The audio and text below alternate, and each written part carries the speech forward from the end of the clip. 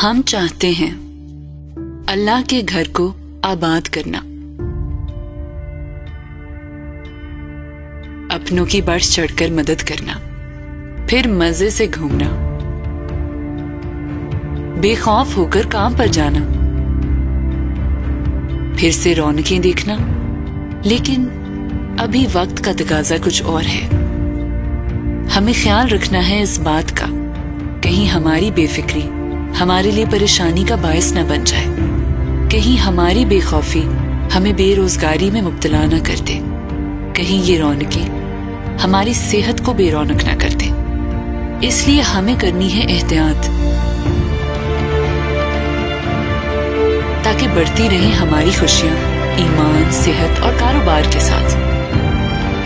आओ मिलकर बनाए महफूज और मज़बूत पाकिस्तान। Model steel. मजबूती की मिसाल।